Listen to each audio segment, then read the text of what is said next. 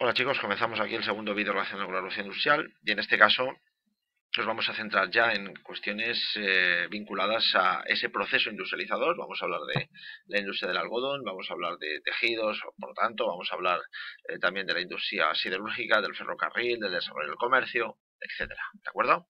Eh, este es el segundo vídeo de tres. Vamos con... vamos allá, ¿vale? Bien, este esquema que veis aquí eh, se parece mucho a uno que veíamos, en el vídeo anterior en el que yo os decía eh, factores que mm, favorecen, que permiten o que son condiciones necesarias para que la industrialización se dé. ¿Vale? Yo os hablaba de materia prima, os hablaba de eh, mano de obra, os hablaba de fuentes de energía, de capital. Pues bien, llegado el momento del desarrollo industrial en sí, y ahora veremos el porqué de la aparición de las máquinas, estos cuatro elementos hay que tenerlo en cuenta. la propia máquina, la aparición de la tecnología aplicada a la resolución de un problema, esa es la idea fundamental, un problema, diríamos, a una demanda o a un problema eh, productivo que pueda tener el ser humano, ahí es donde entra la máquina, como veremos, la tecnología que debe ayudar precisamente resolverlo, las fábricas que basan ese contexto, es el lugar físico donde se va a producir eh, toda esta transformación y por supuesto la gran diferencia o uno de los elementos que va a marcar esta época va a ser la concentración de grandes cantidades de mano de obra en esos lugares, ¿de acuerdo? Todos esos cambios son los que vamos a encontrar o vamos a empezar a ver en las primeras industrias. Al principio no de una manera muy exagerada, pero poco a poco veremos que será, diríamos, el paisaje esencial que vamos a encontrar en Inglaterra y posteriormente en otros países europeos. Bien, ¿dónde comienza la revolución industrial como tal? Pues la revolución industrial comienza en el sector textil, en la industria del tejido. Eh, y en concreto la de un tejido, el tejido de algodón. Eh, las próximas imágenes, las próximas diapositivas tienen, que, tienen como objetivo explicar exactamente qué ocurrió con el algodón para que de repente eh, se convirtiera en el motor, en, el, en, el, en la industria directora de todo el proceso industrial. ¿De acuerdo? Así que esta es una imagen, eh, estas que como siempre os digo que podéis encontrar en internet sobre lo que significa la revolución eh, textil. Vamos a verlo con más detalle, ¿de acuerdo? Bien, en primer lugar, una de las claves, o de muchas de las claves del éxito de todo esto tiene que ver precisamente con la oferta. ¿A qué me refiero? La oferta de eh, materia prima. Gran Bretaña en el siglo XVIII comienza a controlar grandes zonas del mundo y especialmente dos lugares de los cuales procede esa materia prima. Eh, lugares cálidos, por cierto, porque en Gran Bretaña no se puede cultivar eh, algodón, sino que lo tiene que recibir como materia prima export, importada, en este caso, de territorios que eh, son colonia. Por una parte la India, que comienza a serlo durante el siglo XVIII, y las antiguas colonias norteamericanas, bueno, las colonias norteamericanas hasta que dejan de ser colonias y se convierten en los Estados Unidos, pero que pese a serlo, seguirá llegando al Reino Unido la materia prima necesaria para poder desarrollar la producción de algodón. ¿De acuerdo? De tejidos de algodón hecho con una materia prima asequible para los, para los británicos. Bien, eh, la materia prima la tenéis aquí señalada, por si alguno todavía no lo había visto. Esto es una plantación de algodón. Eh, otra de las grandes ventajas que tiene el algodón, no solamente que si quieres más producción lo único que tienes que hacer es aumentar la eh, zona cultivable, sino que además es un producto fácilmente mecanizable. Y esta es una de las claves de su éxito. ¿De acuerdo? Lo vamos a ver con la aparición del telar mecánico, con con máquinas eh, mm, preparadas para cada uno de los procesos de la producción de un tejido de algodón y eso es algo que su gran competidor, como ahora ya os adelanto, la lana, no va a poder hacer. Así que desde ese punto de vista diríamos que el, algodón es enormemente rentable porque permite producir mucho a bajo coste o a relativo bajo coste y por lo tanto mm, vender un producto asequible desde el punto de vista económico porque los precios son baratos. Si a eso añadimos la parte de la demanda, es decir, ¿Qué es lo que ocurre con el algodón? Porque se ha puesto de moda. De hecho, se ha puesto en esta imagen, esta diapositiva, un tejido de algodón que desde luego eh, marcaba sin duda alguna la moda del, momento. Tejidos ligeros, como aquí os digo, de colores eh, a precios asequibles, muy atractivos, con los que se podía realmente diseñar y, y, fabricar cualquier tipo de tejido. Eso es lo que va a hacer que rápidamente el algodón se convierta en un producto de moda enormemente demandado. La verdad es que esta imagen, por cierto, es un tejido también de algodón, la, la, prenda vaquera. Eh, estos vaqueros que saldrán a finales del siglo XIX y serán enormemente famosos, es el ejemplo de algo, de un producto textil que realmente tiene gran éxito precisamente por todas estas cualidades que os estoy contando. ¿De acuerdo? Es decir, los pantalones vaqueros no surgen en el siglo XVIII, obviamente, pero el efecto es el mismo, ¿de acuerdo? Bien, por lo tanto, la oferta y la demanda confluyen en este sentido entre lo que es capaz, lo que se necesita para producir tejidos de algodón y lo que la gente demanda. Además, aquí os pongo dos gráficas en las que comparamos el algodón y la lana en estos momentos. Y la verdad es que su gran competidor, la lana, sale perdiendo. Todas cosas por algo bien sencillo. Si tú quieres aumentar la producción de, lana, no puedes solamente aumentar la extensión cultivable, porque obviamente la lana sale de las ovejas y eso significa que la inversión necesaria es enormemente.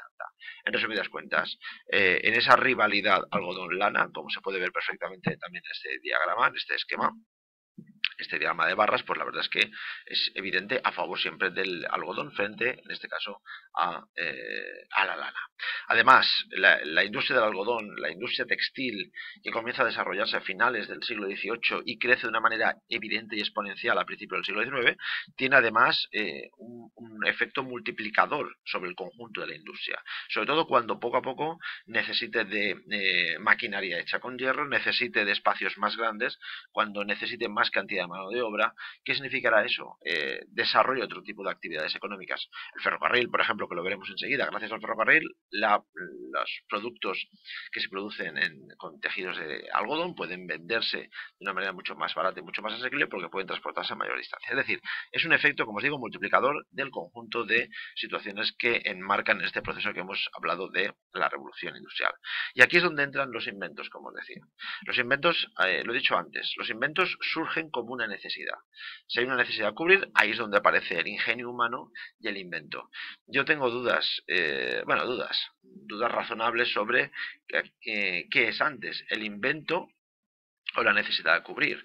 Es decir, ¿qué es antes el huevo o la gallina? Eh, aplicado aquí parece evidente que cuando en el siglo XVIII se necesita producir tejidos de algodón, es a partir de ese momento cuando se genera eh, o aparece el invento que permite dar solución a ese problema. ¿De acuerdo? Y aquí van a haber muchos, la spinning jenny, mull jenny, el telar mecánico, como decía anteriormente, es decir, eh, herramientas, instrumentos, eh, mecánica, inventos, que por cierto en estos momentos no necesitan de grandes inversiones, son relativamente baratos, casi todos son de madera, que van a permitir, como os digo, aumentar la producción. Por lo tanto, se garantiza una producción abundante gracias a la mecanización, hay una producción masiva que implica bajada de costes y como aquí os digo, no se colapsa eso que llamamos la relación entre oferta y demanda, es decir, que hay una cierta flexibilidad. Si aumenta la oferta, la demanda perdón, si aumenta la demanda de ese producto, la oferta se puede adaptar a las exigencias del mercado. ¿De acuerdo? Bien, por último, como aquí os digo, ¿dónde comenzamos eh, eh, a observar eh, la aparición de esta nueva forma de producir? Pues evidentemente los antiguos, el antiguo sistema doméstico, que se, era propio también del siglo XVIII en Inglaterra y en los gremios, no tiene demasiado sentido en este, en este mundo y sobre todo en esta forma de, de crear y de producir, porque hay una tendencia a la concentración y es ahí cuando comienzan a aparecer las primeras fábricas, al principio pequeñas, de escasos trabajadores, pero que poco a poco van creciendo de una manera evidente. La industria siderúrgica. Si hemos hablado del sector textil, la siguiente, eh, que tiene un gran impacto en el desarrollo industrial, de hecho es la base de lo que va a ser el desarrollo industrial ya del siglo XIX en Inglaterra ya y luego posteriormente en otros países, tiene que ver con la industria del hierro. En este esquema, más o menos, aparecen una serie de situaciones que están vinculadas a la producción de hierro. La pregunta que yo os haría es, ¿qué no se fabricaba con hierro en aquella época? Bien, esa es la clave, como también he señalado antes en este caso, del éxito de la siderúrgica. Porque hasta el siglo XVIII realmente la única industria que tiraba del, sector del hierro era la industria armamentística. Las armas, los cañones estaban hechos de hierro. Pero a partir del siglo XIX va a comenzar a aparecer una nueva serie de demandas del sector industrial siderúrgico que harán que este tire. Ahora veremos cuáles son. Comparar la industria textil con la industria siderúrgica es algo necesario y aquí tenéis un esquema bien sencillo en el que podéis comprobar hasta qué punto son diferentes. Yo hago hincapié en un aspecto, lo del bien de consumo y bien de equipo. Bien de consumo es algo que es lo que se mm, fabrica para que el consumidor directamente lo compre. ¿Qué es un bien de equipo? Aquello que es necesario para que otras industrias funcionen. Y es la gran diferencia entre la industria siderúrgica y la industria textil, al margen de las que aquí podemos eh, considerar o señalar en esta diapositiva. Es decir, hay un cambio evidente porque entre la industria siderúrgica y la industria textil la demanda de fuentes de energía, de capital, de mano de obra es muy superior y por tanto su impacto va a ser mayor.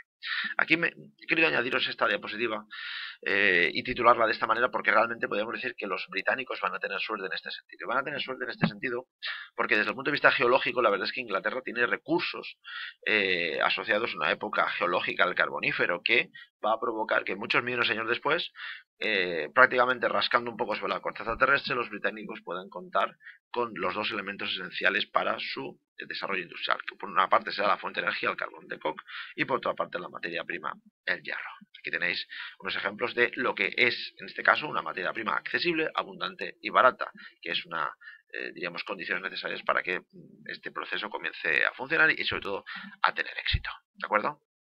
Pero en todo caso, para terminar, ¿cuál es la clave del desarrollo industrial? Sin duda alguna, el ferrocarril. El ferrocarril se va a convertir en la gran demanda de la industria siderúrgica. Por eso es tan importante la revolución de los transportes. Bien, desde el punto de vista técnico mm, de los inventos, como decía antes, dos referencias, eh, Watts y la máquina de vapor, el año 74, y George Stephenson, que partiendo de la idea de Watt lo aplicará al movimiento a la creación de máquinas de movimiento sobre raíles, que en este caso será eh, su famoso cohete, el Rocket de 1825.